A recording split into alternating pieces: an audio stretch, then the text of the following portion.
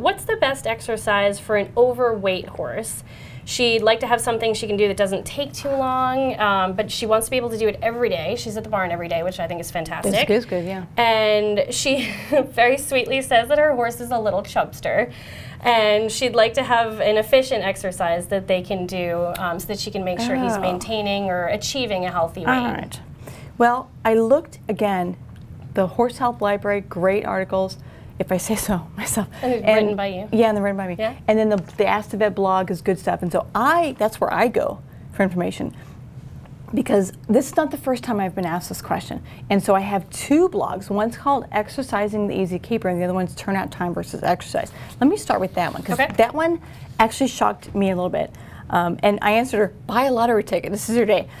so there was a study out of uh, Virginia, and what they found is that horses turned out not in dry lots or paddocks, but Okay. in pasture. So big, large, rolling pastures. And I know not everyone has that, but it's a start. Horses turned out on pastures had the same fitness as horses that were stalled and exercised. Oh, So they Okay. had three groups. They had the just pasture turnout over the winter. no riding. No. Okay. And then they had group number two was stalled and then daily exercise. Okay. And then group three was just stalled. Okay. So clearly, group three went down in their fitness and, and other parameters they measured, but groups one and two were the same. Oh. That I thought that was really interesting. So your horse will sort of take care of himself, left to his own devices. When you make his his environment more like nature intended, Yeah. what we do though is we stall them, and sometimes we stall them with runs, and and better we stall them with runs and paddocks. Mm-hmm. But it's still a small, flat, contained area, and they really do better when they can walk at their own pace and walk up and down and around and, and run a little bit because somebody was chasing them. So or they thought they heard a treat bag. Oh, yes. and I'm guessing maybe her horse would do that. Seems like maybe. The other one, exercising the easy keeper, you, you should read this one because there's there's too many studies for us to go over today. But um, they did find a key a key thing was you have to keep exercising. So daily is good. You don't have to go for hours and hours. A lot of these were 30 minutes of walking and trotting. But when they quit exercising, I think it was after nine days, the horses went back to their original level of fitness. So the important thing is daily, short, intense, if your horse is ready for it, but keep up. Don't stop. Okay.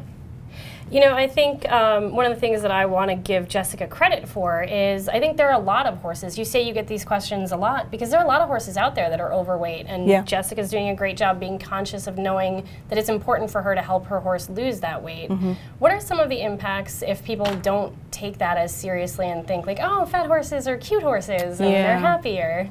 Well, when you're carrying too much weight, it's hard to dissipate heat. Mm-hmm. So they're going to struggle more when it gets hot in, in the summers or in Florida, California. Um, they also are more prone to laminitis because their hooves aren't increasing in size, but yet they're carrying more, More. pounds in that square Sure. inch.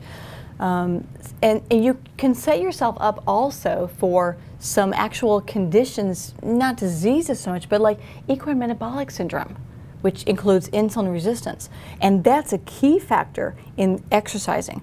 Exercise has been shown to make your insulin, make your body more sensitive to the effects of insulin. Mm-hmm. So your question is a good one because by exercising and by keeping the weight off, you're scientifically helping your horse from the inside and you're seeing the effects on the outside. Right. So it's not just about vanity, say your horse has a nice nice beach body, but it's for his long-term health and wellness and yeah. soundness. Keeping your metabolism working right and your musculoskeletal system and just everything. Yeah. It's good. yeah. Okay. Oh, can I say one more thing about this? Yeah. Small hole hay net. Also the good friend of Of- this guy. yeah, The yeah. easy keeper, the Yeah. And if he you won't will. he won't hit you for it. They actually like having to go get their hay from the bag because it's it more simulates like grazing. Yeah, Sure. yeah, yeah. Absolutely. Yep, yep. Okay. Well, there you go. Small hole hay nets for everyone. I think Eh, is, not me. No. No. We don't need that. We can control ourselves. We can convince ourselves of that anyway.